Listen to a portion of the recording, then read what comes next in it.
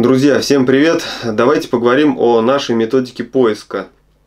Э, в ответах на вопросы я очень коротко ответил, там буквально тремя словами, да, о нашей методике поиска. Ну, соответственно, как бы вопрос-то остался вопросом. Э, и сейчас хотелось бы более подробно, но опять-таки тоже не затягивая, да, объяснить, как вообще это все происходит от самого начала, как бы, и вот заканчивая поиском уже на месте. Я себе сделал несколько заметок здесь, вот, так что, ну, чтобы было более удобно мне лично. Вот, я все-таки не какой-то там блогер, да, опыта, как говорится, не имею такого. Вот, поэтому будем опираться из плана, как говорится. Так, ну что, приступим. Сейчас телефон отключим, чтобы не мешал. Касаемо нашей методики поиска.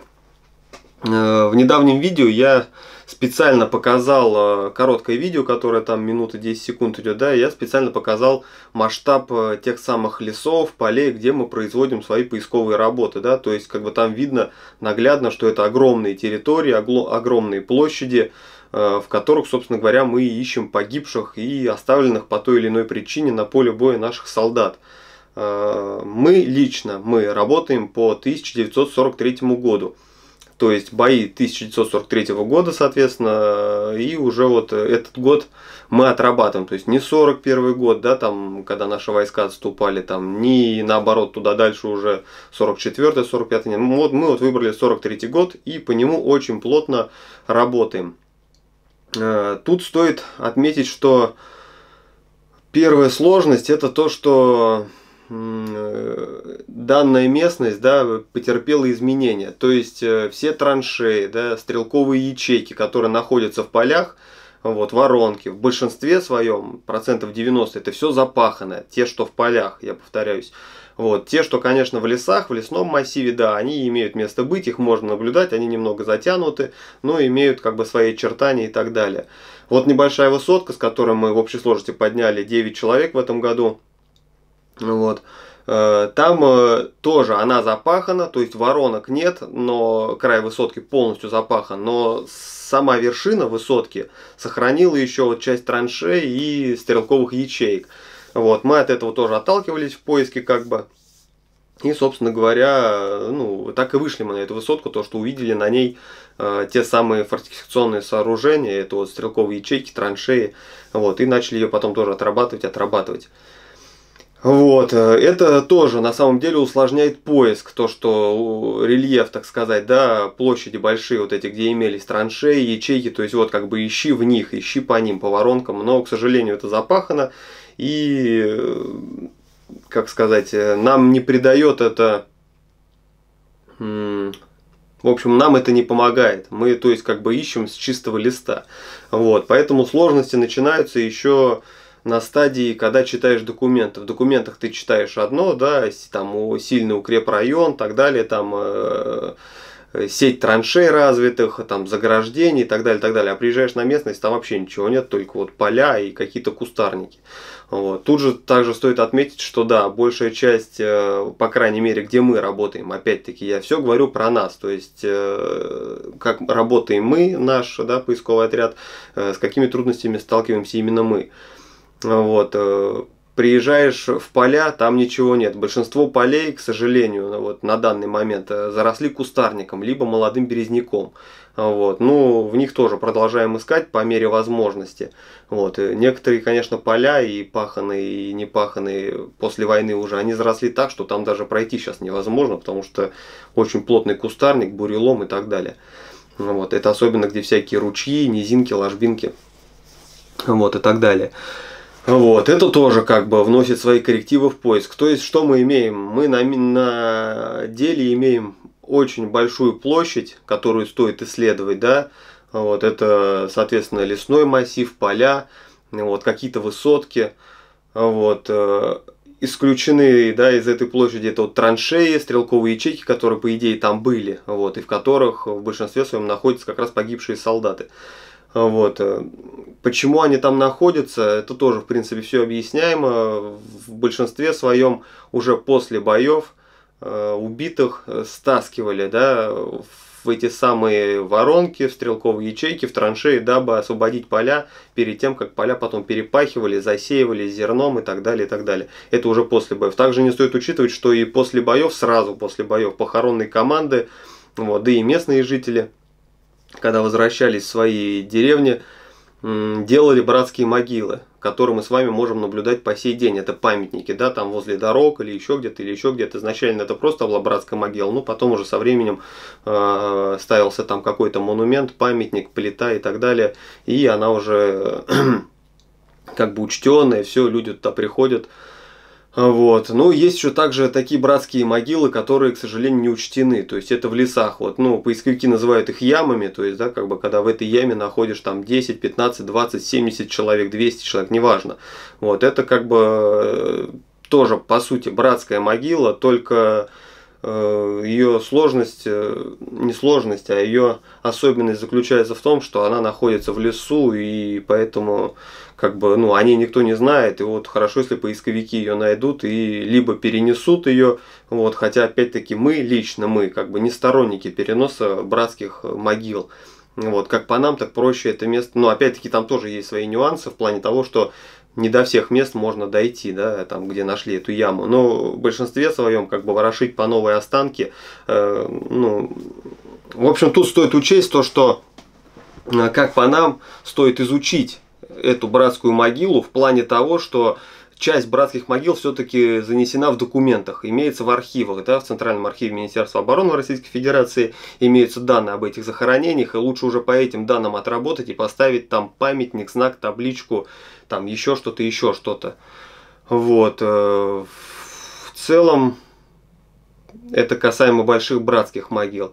Вот. Но это ладно, это мы все отходим немножко от, э, так сказать, от темы. Но говорю, я не сторонник, мы не сторонники наш отряд для того, чтобы переносить уже существующие братские могилы, да, пускай они потеряны, утеряны как бы в лесу, но лучше ее там и восстановить, чем останки по новой выкапывать, переносить, установить имена, кто там захоронен в той братской могиле, да, и уже ее, как говорится, облагородить. Не для того, чтобы туда, понятное дело, туда ходить никто не будет, но в любом случае можно сделать так, чтобы, да, и туда туристический маршрут, так сказать, э, проложить и так далее, и так далее. Ладно, это все немножко я отошел от темы. Так, так, так. Давайте с вами разделим на два варианта поиска, да, то есть первый вариант у нас получается, это когда вам сообщили о месте, да, или показали, где вы будете производить поиск. Это раньше было довольно часто, это когда жили местные жители в деревнях, которых сейчас, к сожалению, уже нет – вот, и местные жители рассказывали, показывали прям ну, наглядно на месте, что вот там-то, там-то, да, там бабушка, дедушка хоронили, или там вот в яме лежат, там, или там мы в кувет вон туда стаскивали. Поисковики шли, искали, находили, доставали, перезахоранивали как бы вот этих вот одиночных с полей, вот, либо какие-то небольшие ямы там на 5-10 человек, уже большие мемориалы и так далее. Вот. Здесь что стоит отметить, что такой вариант, когда вам сказали, показали место, да, он э, довольно сильно сокращает время поиска. То есть, ну, вам не надо тратить время на то, что э, искать где-то вот в этих в полях большие масштабы. На самом деле это с виду кажется, что карту, когда открываешь, да, как бы, ну вот она, что там, а приезжаешь на место, деревня даже площадью, грубо говоря, вот поле, да, в деревне, площадью там километр на километр, вот, ну, да там даже, в принципе, 500 на 500 метров как бы уже проблематично искать, потому что некоторые деревни захламлены. То есть после войны они какое-то время просто существовали, там до 80-х, 60-х да, годов. И вот этот хлам, который там, э, железо, кирпичи, все это пооставало, и, соответственно, щупом и так далее, металлоискателем работать очень сложно. Вот. Э, второе, что ускоряет процесс изучения места. То есть тот же местный житель, да, или кто вам подсказал это место, как бы, ну, у него можно по максималке, по максимуму узнать информацию, что, соответственно, тоже облегчит поиск. Э, осмотр места, опять-таки, да, можно пройти прямо вместе, вместе с тем, кто вам сказал, либо он на, как у нас обычно раньше бывало, да, там на листке бумаги нарисует, что вот дорога идет, от дороги сюда 200 метров, как бы раз-раз, и от этого уже тоже отталкиваюсь, тоже очень упрощает э, упрощает поиск. Ну, в принципе, потом все равно начинается вот эта бумажная волокита, то есть изучаешь документы, изучаешь схемы, карты, списки потерь личного состава.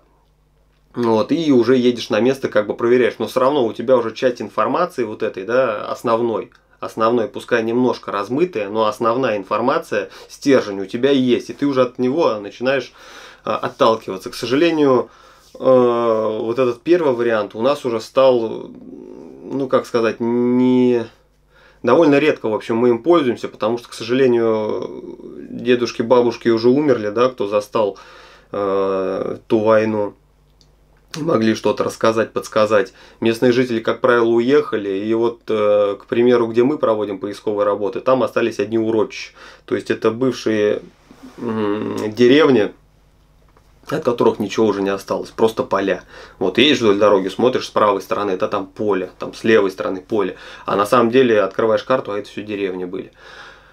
Вот, это один такой вариант. Э, ну, в принципе, здесь же тоже стоит указать, что также после изучения документов, схем, карт, да, списки личных, э, списки потерь личного состава, чтобы понимать, сколько людей погибло, не погибло за эту деревню, где их примерно искать. Э, также потом заказываем аэрофотосъемку, покупаем, то есть это немецкий самолет пролетел, там, например, бои были в августе 43-го, да, в сентябре, а самолет пролетел уже немецкий там в октябре, в ноябре, сделал фотографии, как бы, и вот эти съемки мы потом покупаем. То есть, вот, в принципе, у меня за спиной ее видно, да, аэрофотосъемка. То есть, э, вот дороги идут, вот немецкие траншеи, воронки, вот, э, то есть видно, да, вот этот участок траншеи почему-то очень сильно бомбили. Вот, соответственно, первым делом этот участок попадает под поиск. Вот. Вот поля, в принципе, да, видно то, что засеянные были, которые. Вот. Э, ну и так далее, и так далее. В принципе, вот это образец аэрофотосъемки, по которой мы лично работаем. Вот. Видно, да, вот засеянные поля, которые вот они квадратиками такие, тут воронки, она черно-белая аэрофотосъемка, но это вот как Яндекс карта, например, да, или там Google карта, только вот сделанная после боев э, самолетом, соответственно, это привязывается к GPS, специальной программе, и мы уже ходим по этой аэрофотосъемке, э, уже ходим как по навигатору. То есть вот где мы стоим, например, да, наш лагерь, вот он отмечен наш лагерь, как бы это мы уже помечали себе. Там э, здесь, например, э, возможные захоронения должны были быть, да, мы их проверяли, но не нашли. Вот. То есть это, грубо говоря, Google карта, Яндекс карта, да, только черно-белая и того времени. Вот принципе-то все. Так, и, собственно говоря, в завершении, как бы, да, первого варианта, ну, уже начинается работа на месте. То есть, приезжаем, э, и вот по набранной нами плану работ, то, что мы собрали все в кучу, да, данные э, того, кто нам э, что рассказал, прочли мы документы, собрали, сколько там потери, да, в этой деревне были, где они примерно на юго-западе, на северо-западе от деревни. Это тоже все очень размывчато, очень такое все неточное, но это уже начинаем работать на месте. Вот, поэтому, в принципе, можно... Первый вариант, это как бы, ну, он самый такой простой и самый надежный. До этого, в принципе, работали мы по таким планам. Тоже довольно интересно в плане того, что часть вам рассказывают, а рассказывают еще, как обычно, с небольшими легендами и так далее. Вот. Ну, кстати говоря, у нас сейчас тоже есть э, несколько таких моментов, где нам говорили, что могут показать, могут рассказать, но что-то, к сожалению, как-то не очень срослось, так сказать.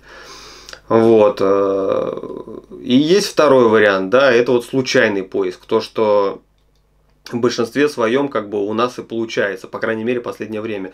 То есть э, второй вариант методики нашего поиска, да, это вот случайный поиск, ну как случайный, мы работаем там больше уже сколько там, да, 10 лет это, не 10 даже, уже больше 12 лет, да, на одном месте. То есть как бы случайным его назвать тоже уже особо язык не поворачивается, потому что довольно много информации у нас собрано. И те или иные деревни, когда у нас мелькают, да, в каком-то разговоре или еще где-то, э, они ну, в голове как бы сразу отражаются, что ты понимаешь, где-то я про нее читал, где-то я про нее слышал. Но если ты про нее читал или слышал, значит там что-то было.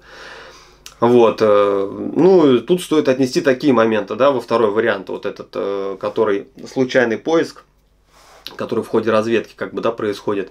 Э, во-первых, это затратный вариант поиска по времени и средствам, то есть ты едешь ну, можно сказать, не зная куда, и как бы не знаешь зачем. Ты не понимаешь, что ты там будешь искать, и там болото, там не болото, высотки. Вот, соответственно, как бы тратишь и свое время, да, и средства и, там, на бензин и так далее, и так далее.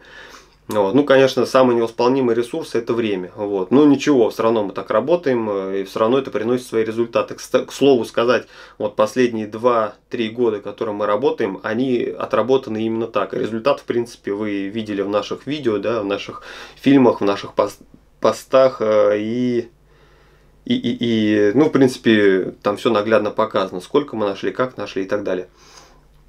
Вот. Э, второй подпункт здесь, да, то, что Изучение места затруднено большими площадями, то есть это тоже не когда тебе конкретно показали, что вот здесь, вот там, а ты просто приезжаешь на огромную площадь, деревня. То есть, а деревня, соответственно, это сама деревня, образно говоря, где она у нас, да, например, вот здесь.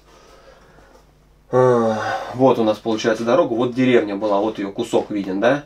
Но бой за эту деревню, да, бой за деревню С, он у нас был то есть вот это все относится к деревне. И вот это, вот это все относится вот к этой маленькой деревушке. То есть в документах, во всех в отчетах это все проходит как бой за деревню С. То есть вот, да? Вот эта вся площадь, это все вот. Соответственно, человечек это вот маленькое-маленькое вот такое зернышко. Вот здесь, да, воронки видно, вот это маленькое такое зернышко, это вот человек. И вот чтобы тебе вот это все обойти и проискать, это требует очень много времени. Вот. Ну и физических сил, соответственно. Вот, потому что все-таки какая-то конкретика, она, как говорится, ну, приносит свои результаты. Э, и дает плоды гораздо быстрее и лучше. Так, ну, в принципе, схема поиска такая же, как и в первом варианте, да, то, что э, осмотр места, вот, также осматриваем место, смотрим, прикидываем, где что как было, ну, опять там болото, не болото, да, и так далее. Э, изучаем документы, схемы, карты, списки личного состава потерь вот, за эту деревню. Но опять-таки повторюсь, что здесь конкретно тебе не сказали, да, что вот на краю деревни, вот здесь возле дороги, там, э, ну, мы хоронили, там бабушка хоронила, рассказывала, что там хоронили, там с поля вот отсюда сносили, вот здесь хоронили солдат убитых, да. Вот, либо наоборот, они вот здесь все вот в этой лощинке лежат их никуда не сносили. Здесь, к сожалению, такого нет. Ты просто приезжаешь вот сюда на дорогу, стоишь на дороге, смотришь влево, смотришь вправо. Э, немножко, как сказать, впечатлением, да, под впечатлением остаешься от масштабов от этих, от площадей. Вот, по весне это еще более-менее хорошо, то, что все просматривается, все видно. А вот уже потом начинается, когда летом трава, жара, комары, слепни. Ну, в общем, такой себе, в общем, поиск получается вот, э, в плане как бы тяжеловато, тяжеловато. Вот, э, что еще? Изучение схем карт. Ну, в принципе, то же самое. Заказываем аэрофотосъемки. Вот, после этого, да, как когда изучаем документы, смотрим, что да, были потери за эту деревню, был бой, либо там контратаки туда-сюда, значит, понятно, что бой был довольно жестокий, сразу взять не удалось какие-то там э, ну, контратаки, потери, соответственно. Начинаем читать документы, все это тоже компоновать. Заказываем аэрофотосъемку, вот, если она имеется на это место. Если, кстати, кому-то нужно по аэрофотосъемке, обращайтесь, я вам э, скажу, у кого взять. Вот, есть данные человека, вот, если кому нужно, вот, э, э обращайтесь заказываем аэрофотосъемку и уже работаем на более-менее конкретном месте, потому что подбив все вот эти водные, так сказать, приезжаем на место, начинаем уже более-менее направленно искать. Вот. Но опять-таки это тоже все, сколько раз у нас было, что мы ищем э, в одном месте, так как по документам, а на самом деле надо было там чуть ли не с другой стороны, там, да, и чуть ли не вообще полтора километра от этого места. Такое тоже было. Э, в принципе, этот вариант поиска, да, второй, у нас показан в фильме э, «В поисках себя» 11 по-моему, Окунева. Вот. Там мы с Алексеем также по осени записали видео небольшое. Мы приехали э, с разведкой на место, проверили место. Да, место очень хорошее, перспективное, траншеи. Часть траншеи осталась, причем в поле даже. Вот. Довольно ну, интересно нас впечатлило это место. Приехали домой, почитали про это место, прочитали как раз про Окунева про Окунева. Вот, все это в видео у нас есть на ютубе, я не буду здесь повторяться, тратить время. Вот, изучили это место, заказали аэрофотосъемку, по весне уже приехали туда проводить поисковую экспедицию, подняли там, соответственно, солдат, но потом мы все же все равно сместились на новое место, опять-таки таким же планом разведки. Вот, и уже там тоже начали поднимать солдат, собственно говоря, мы там работаем уже, ну, вот, какой, второй год получается, да. Вот, и тоже там вот с небольшой высотки, с той самой, да, и Госреда подняли, вот. И, ну, в общем, 9 человек с небольшой высотки тоже подняли, как бы, а высотка прям возле дороги, то есть, как бы, все практически рядом. Но вот спонтанные вот эти дела, когда ты съезжаешь на место, э, имея аэрофотосъемку, которая цепляет, например, вот эту часть, а мы работали, да, вот здесь, ты просто перемещаешься сюда, смотришь траншеи, начинаешь по траншеи работать, смотришь э, как бы там э, гильзы, настрел и так далее, видишь, что понимаешь, что по кому-то стреляли, кто-то стрелял, какой-то бой был, начинаешь крутиться по спирали, вот, расширяя свой круг, и, и в итоге выходишь, как правило, на место, э, э, которое отрабатываешь большую часть времени. Ну а теперь давайте, наверное, перейдем к технической части поиска. Я, в принципе, ее тоже помечал. Так, технические части поиска, в принципе, можно отнести э, к, технической, части вопроса. Это ну, проверка места, вот, э, то есть, когда да, мы приехали на место, мы вообще не знаем ничего там, как где там было, что там было. Перед нами просто вот леса, вот, поля, в принципе, вот говорю, посмотрите видео, э, вот это с, э, смоленские леса, которые, да, земля смоленская я делал, там в принципе видно какие-то масштабы огромные. Вот ты приезжаешь, там такие же масштабы, вырубки, просеки, пасеки, там вообще ничего не видать. То есть, ну, ну земля и земля, и все. А где искать, не особо-то понятно, ничего не внятно.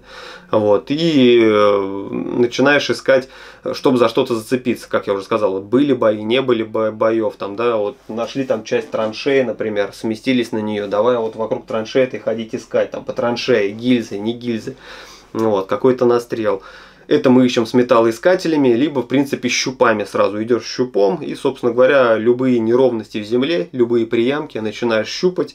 Вот, если есть какие-то провальчики, шорфиш, э, пулеметные гнезда и так далее. Если есть какой-то настрел, э, гильзы, как я уже говорил, начинаем это место более плотно отрабатывать. Но тут, э, не знаю, объяснить, наверное, как-то тяжеловато будет. Здесь это все равно как-то с опытом приходит. Ты, то есть ты приходишь на место, э, видишь, что настрел есть, но понимаешь, что здесь как бы боев никаких таких не было. Видишь саму местность, соответственно, да, э, рельеф, рельеф, получается, местности видишь там низины, болота и так далее. И у тебя, в принципе, в голове уже сама картина это вырисовывается. То есть, какой здесь бой был, как здесь был и так далее. И ты это просто, по сути, проверяешь с металлоискателем, э, либо с э, щупом.